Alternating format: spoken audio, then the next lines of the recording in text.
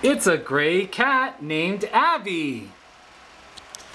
Not too shabby!